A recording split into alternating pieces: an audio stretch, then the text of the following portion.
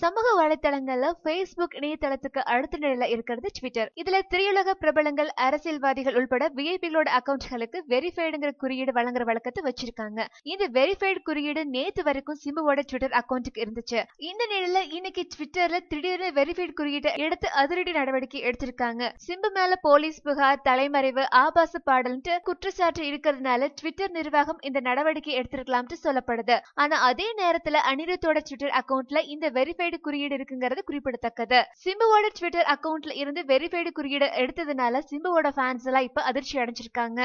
மேலும் எங்களோட செய்திகள் உங்களுக்கு பிடிச்சிருந்தா பிளஸ் மீடியாவை சப்ஸ்கிரைப் பண்ணுங்க.